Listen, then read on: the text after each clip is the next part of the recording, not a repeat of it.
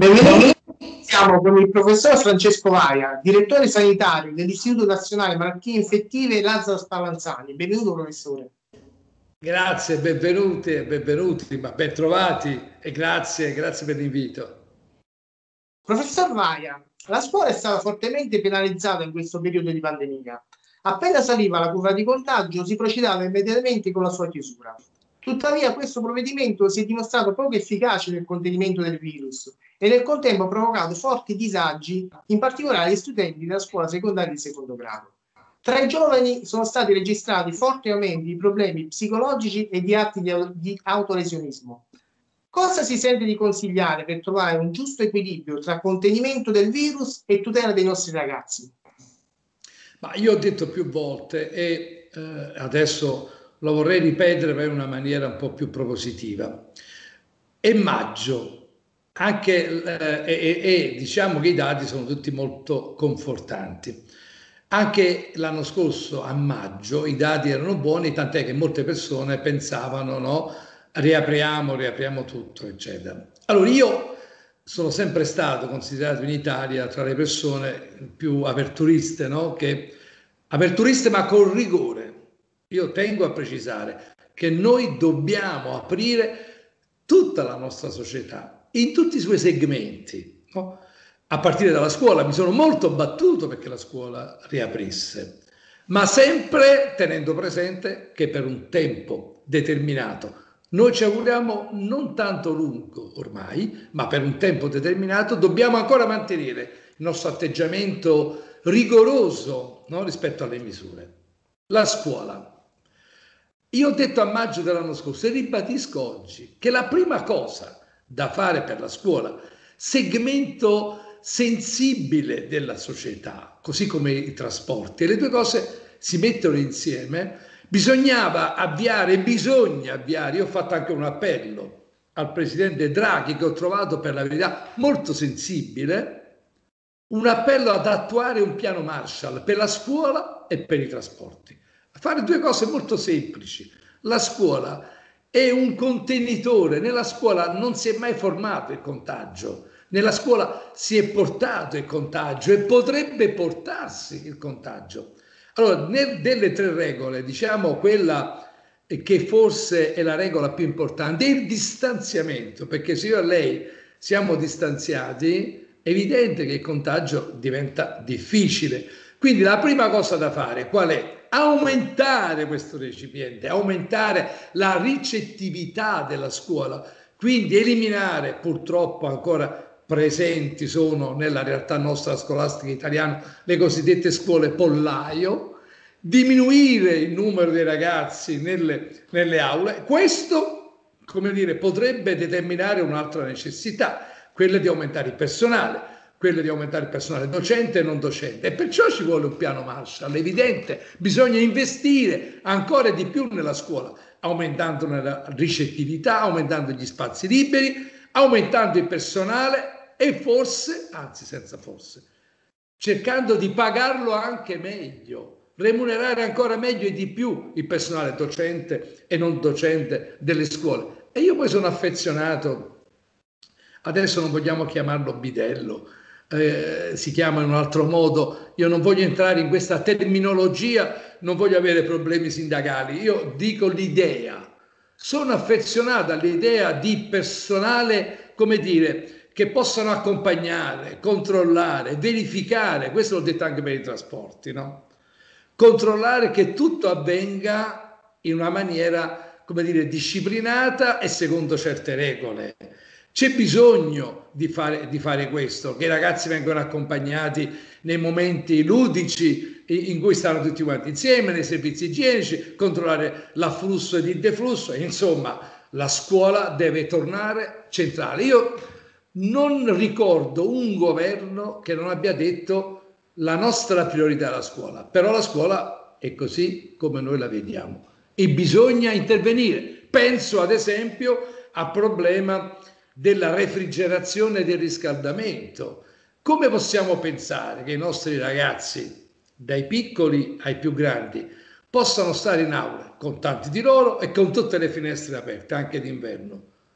Questa è una cosa sbagliata. Probabilmente bisognerà intervenire anche sugli impianti di condizionamento perché ci sono le regole sui nuovi impianti di condizionamento per far sì che ci sia reazione e che, come dire, stanza e stanza non ci sia un ricircolo, ma il ricircolo venga dall'esterno all'interno, non tra due, tra due, tra due aule. E questo per esempio è un'altra cosa, quindi più personale, pagare meglio il personale, il ricircolo, aumentare la, la eh, ricettività e quindi anche, io dicevo, per un tempo transitorio, se questo, e so bene che non è possibile costruire tanti presidi, tanti building, ma forse aprire secondo criteri anche di qualità ad altri ambienti, ambienti come dire della scuola eh, paritaria, della scuola privata, prendere tutto ciò che è possibile, eliminando, eliminando cinema, teatri, supermercati, io ho capannoni, ho sentito tante cose sbagliate. Tra l'altro i cinema e i teatri devono tornare a fare quella che è la loro missione.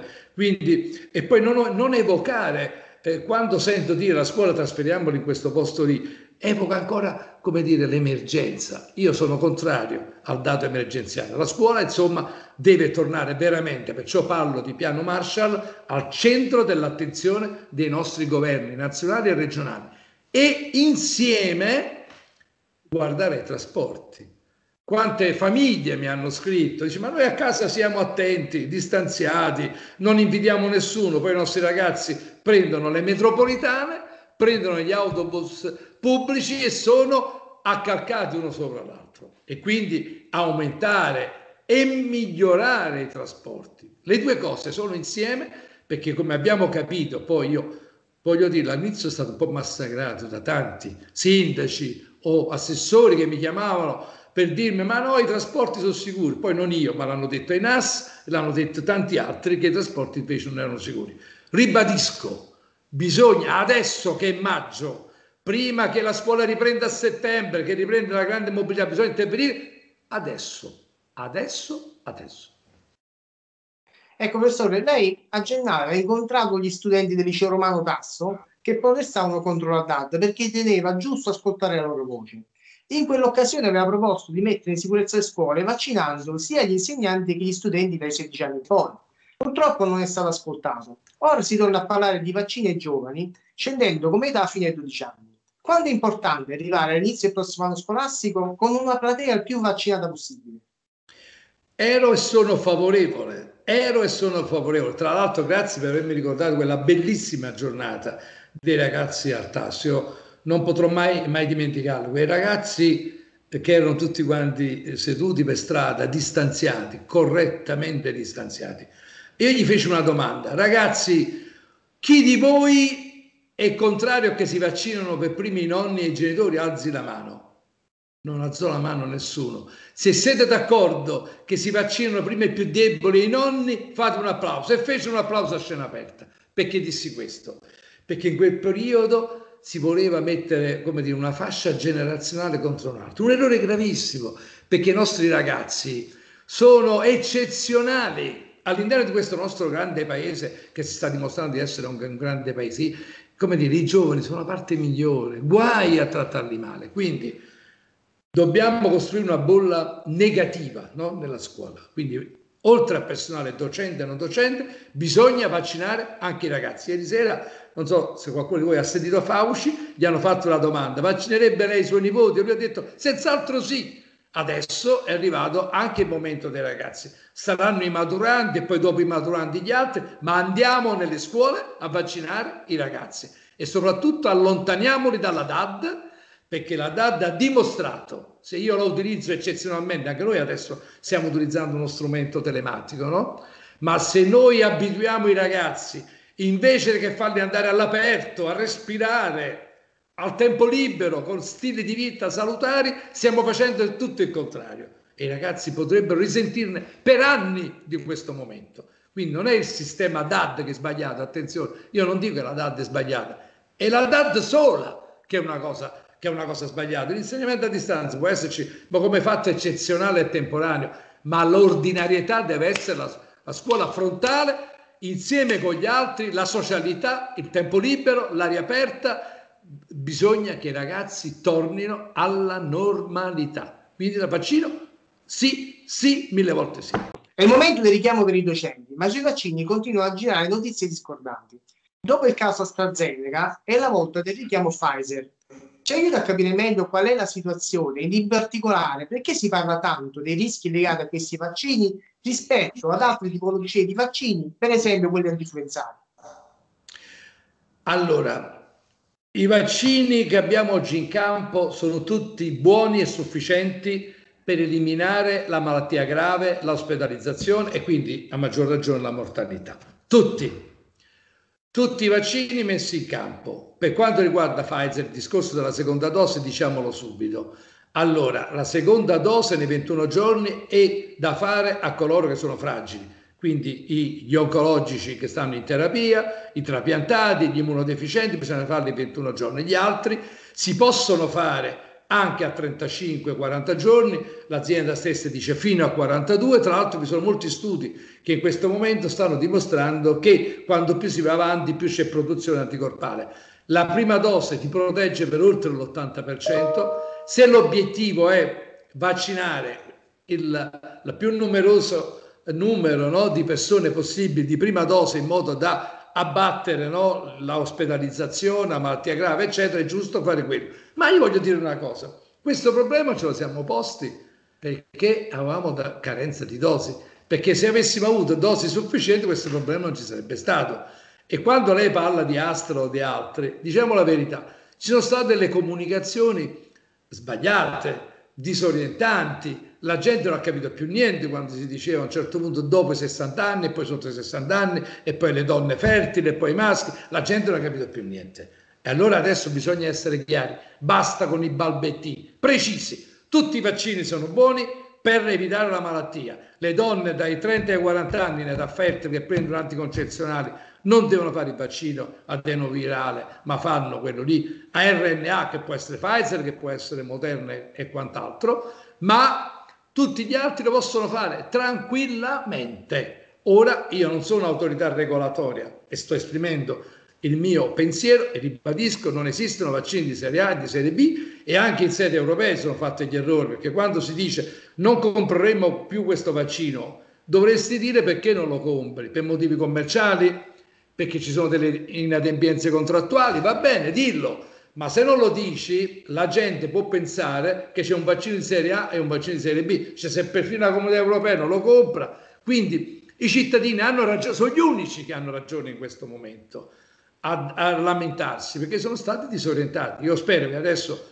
noi tutti, tanti perlomeno, stiamo facendo chiarezza abbiamo capito che il vaccino è importante, è fondamentale, bisogna farlo. La prima dose già ci dà una protezione dell'80%, vi sono alcune categorie a rischio che è meglio non fare l'adenovirale, ma è meglio fare l'RNA, dopodiché vacciniamo tutti.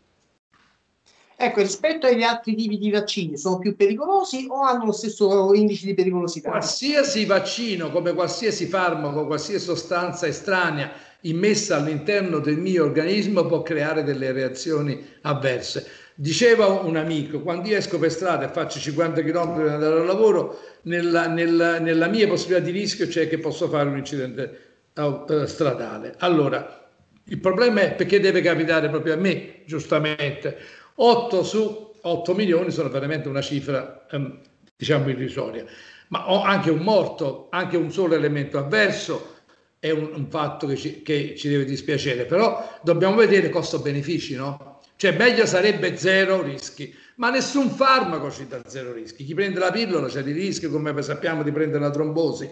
Ci sono tantissimi farmaci, se leggiamo i bugiardini, eh, eh dice ma mo non me lo prendo più questo farmaco perché eh, c'è tutte queste reazioni effetti collaterali. Quindi la comunicazione è molto importante. Nessun vaccino nessun vaccino è esente da rischi, nessuno. Quindi sono tutti quanti uguali. Tutti i vaccini sono buoni per evitare l'ospedalizzazione, noi dobbiamo stare sereni e voglio dire, credo che il nostro sistema sanitario, se qualcuno ha qualche problema, io consiglio spesso, ci sono problemi di allergie consolidate, di immunodeficienza, eccetera, di farlo in ambiente protetto, magari ospedaliero, dove può essere immediatamente, immediatamente soccorso. Abbiamo avuto pochissime reazioni, questa è la verità, pochissime reazioni. Però, ribadisco, meglio sarebbe non averne proprio, però il beneficio che noi abbiamo come sistema paese, oltre che come persone, è troppo più importante. Bisogna vaccinare. Poi ci sono le altre terapie, eh. Bisogna, ci sono le terapie innovative, gli anticorpi monoclonali che non sostituiscono il vaccino, ma che si integrano, che sposano e la, come dire, parlando della scuola, io ho sempre parlato di tre elementi, vaccino e terapie innovative, il sistema paese che deve rispondere in maniera corale e terzo, la forza che ci mettiamo noi come cittadini andare contro la depressione. Ecco perché tornando alla DAD bisogna eliminare tutto questo e far respirare il paese, far respirare il paese, farlo rivivere, dargli la forza e il coraggio di continuare a combattere questo virus che, ribadisco, stiamo distruggendo. Comunque lo stiamo sconfiggendo, lo sconfiggeremo. Ecco, un'ultima domanda. Lei parlava uh, degli anticorpi monoclonali. Eh, I vaccini sono gli strumenti principali per combattere il eh, Covid-19, ma nella cassetta degli attrezzi a disposizione dei medici troviamo eh, altri strumenti per contrastare la malattia, come appunto gli anticorpi monoclonali, ma altri strumenti sono in arrivo. Si parla per esempio di farmaci inibitori di proteasi. Il vostro istituto è stato sempre in prima linea nella lotta al Covid-19. Ci dice eh, come state procedendo? Allora, noi stiamo andando avanti eh, con le sperimentazioni in queste ore proprio, adesso io ho finito questa, vedrò i miei colleghi miei, che si stanno occupando insieme con me di sperimentare anche gli anticorpi monoclonali, eccetera. Io penso che noi abbiamo oggi davanti due problemi, anzi tre problemi. Il primo è quello dei non responder, degli immunodeficitari, eccetera, che pur essendo vaccinati non producono anticorpi. Non possiamo abbandonare questi soggetti, anzi dobbiamo aiutarli e noi stiamo immaginando di utilizzare gli anticorpi monoclonali, quindi non solamente come farmaco per guarire dalla malattia, ma anche come, eh, eh come, eh, come dire, immunità passiva, cioè io ti do direttamente l'anticorpo che tu non sei stato in grado di produrre per vari motivi e quindi eh, ti proteggi con questo, diciamo, anticorpo monoclonale, quindi non viene più utilizzato come farmaco, ma come profilassi, no? come prevenzione de- della malattia. E stiamo pensando di utilizzare gli anticorpi monoclonali. Stiamo anche immaginando, sempre per coloro che hanno avuto eh, difficoltà, eh, di, eh, anche di accesso alla campagna vaccinale, perché non pensiamo adesso, pensiamo anche al futuro, per il tempo che, che ci resta davanti, di poter dare per un tempo limitato una immunità passiva.